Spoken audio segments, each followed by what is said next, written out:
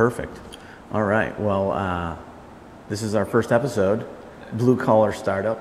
It's exciting stuff. It is exciting stuff. It's uh, we should probably start off with because this is really your brainchild. So why don't you uh, give us the rundown? Give us give us how we ended up sitting here today, Derek.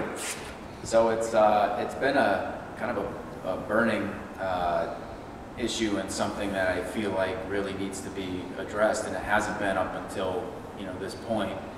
But the idea with, with blue collar uh, startup is to, to raise awareness and help educate, empower um, you know younger generations uh, who are trying to figure out what they want to do and what they want to be later on in life to you know provide them with you know some knowledge that that they can actually go out and, and learn a trade and start their own business and, and become entrepreneurs. in today's culture, it's uh, it, it, the tech stuff is always out there. It's always what's uh, what's next and, and what's cool. Um, what's the next big thing coming out? You know, we hear about these big companies launching software and things to make people's lives uh, you know easier, but you know what's not as uh, appealing are um, you know some of the, the jobs that you know need to be done and then we have a major need for, but we don't have the labor supply to make it happen.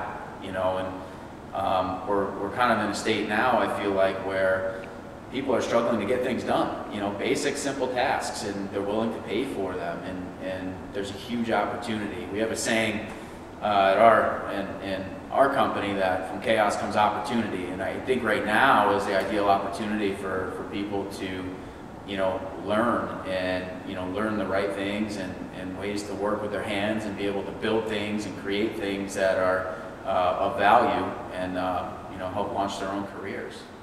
Yeah, yeah, I know it's, it's funny because when you first brought it up to me and, and you know, I did, did a little research and started looking into it. And uh, one thing I had already known to be true was the fact that uh, it was just so hard to find people to do Yeah labor. And, and, and not, uh, maybe labor is not even the right word but like trying to find con- contractors to come out and do some things on the farm that i can't do or you know like any of that stuff man. I mean we were uh, the last two and a half years it's just been crazy. We've got all these projects that either a i can't do by myself and i need a, you know four other sets of hands or b uh, we you know i can't it's just beyond my skill set. Yeah.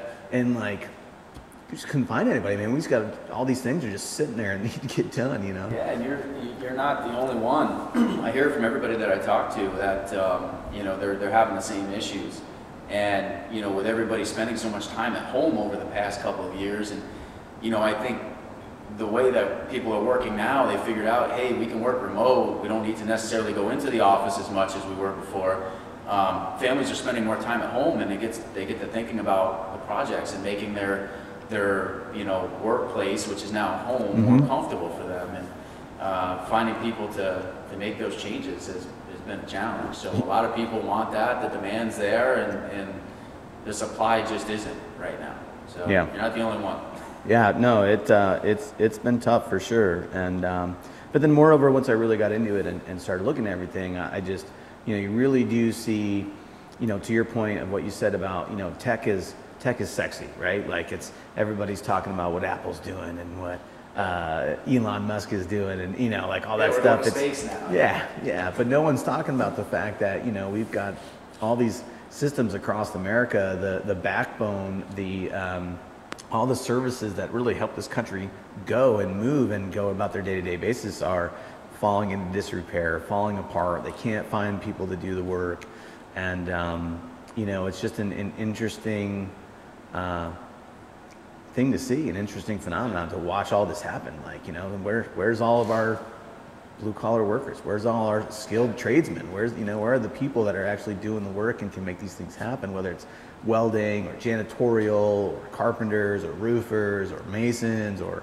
you know uh, any of it, man. It's, it's, yeah. One of my favorite shows uh, on TV, and I mean the media is, is putting all of this out there and.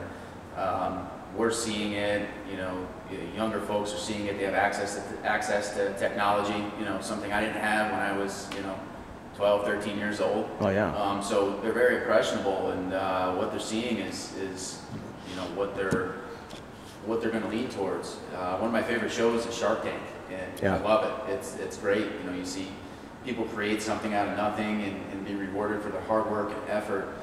Uh, but there's not a ton of, of blue collar entrepreneurs that are on that show. Uh, Yeah. It's mainly tech focused and tech centered, and there's there's nothing wrong with that. You know, we need that too. But I think you know if we're able to you know highlight um, you know some opportunities where you know they, there's there's money to be made out there, and, and by working with your hands and, and learning some skills Mhm. that not everybody has. So. Yeah, yeah. It's um, so blue collar startup, right? The idea here is that we're going to run a podcast every couple of weeks. We're going to invite some guests. Yeah. Uh, the guests that are just like you, they're blue collar business owners that have grown and scaled businesses to a successful level. Uh, and again, you know, we'll, we'll talk about how you know defining success, right? What that what that means. But uh, so we're going to have different guests on. They're going to talk about how they did it, the challenges they ran into, who they are, what they're doing. It's going to be all sorts of different industries and different walks of life and different levels of success for that matter. So it could be the guy that you know is driving a dumpy pickup truck, or it could be a guy stepping out of a Range Rover. It could be, you know, it, it could be janitorial. It could be construction. It could be all over the board. So uh, I'm excited to kick off. I know we've got some great people that we're going to be talking to, and um, can't wait to get that that part kicked off. And then we have. Um, we also have another part of what we're doing here that is going to be the members only section. I figured we should probably at least talk that about that, tease it up a little bit. Sure. Uh, and again, I'll I'll, uh, I'll throw the baton over to you. You know, tell us uh, what your vision is for that. So, you know, the idea here is to create a community, you know, that everybody can, can rally around and, and uh, you know, anybody who's interested in, in taking that, that path and learning more about how to become, you know, your own boss and, and live that dream. Um, we're here to help and, and educate and provide the resources so that, you know, folks can actually take that step. Um, you know, the, the idea here is to create that community, um, allow people access to information and podcasts that, you know, they can witness, uh, you know, a lot of what others have been through and how they've gotten there. And then, you know, on the back end, you know, we allow members to join um, and, and really take a deeper dive into some, some of the specifics and some of the actual content and, you know, business practices that, you know, we've had to learn over the years, you know, through, through sweat and hard work, mistakes that have cost, cost money. Um, you know, and, I'm and- still making them too, by the way. yeah, every day. You know, and that's that's the beauty of entrepreneurship. Just Yeah, right. have it figured out, you know. Uh, Something there's- changes. There's a new one. So, but the idea is to to allow people some access to content, uh, kind of dip their toe in the water, see if it's something that they're interested in, and if they Mhm. are, you know, by all means, we're here, and um, we're we're here to help. So, um, we're going to give uh, folks access to some of those business documents for a, a very reasonable monthly subscription um, at one membership level, and, and if they're willing and want to take the, the next step and really do a deep dive into this and you know go through our, our blueprint course, um, you'll have the opportunity to do that. Uh, and if you're a member, you'll receive significant discounts on that as well as business coaching. Um, so really, we're here to provide whatever type of resources uh, folks are looking for. Being able to hear a business owner talk about their business, how they did it, what they've been through, some of the challenges they faced, and then being able to go into a place where now I can say like, oh, hey, here's here's a, a thing on hiring, or here's a thing on marketing and sales, and these are things I know nothing about, and but it's more applicable to my industry than going say somewhere else, and you know, and, and I really do think that that that knowledge is one thing and you can read a lot of books and you know do all that stuff. But the application of that knowledge is always the hardest part. So i'm looking forward to being able to uh, help some blue collar uh, either whether it's a side hustle or if they own a business or whatever it is but really trying to help them apply that knowledge into growing their actual business Yeah, absolutely, and and you know I'm sure people uh, you know don't don't really know, but uh, Mike was actually a, a coach and, and a mentor for me for a while, and uh, helped me create a lot of the processes that we use in our business still to today. So. Um, you know, he, he is a great coach and, and knows a lot when it comes to building a business and, um, you know, creating process and, and, you know, marketing and generating revenue.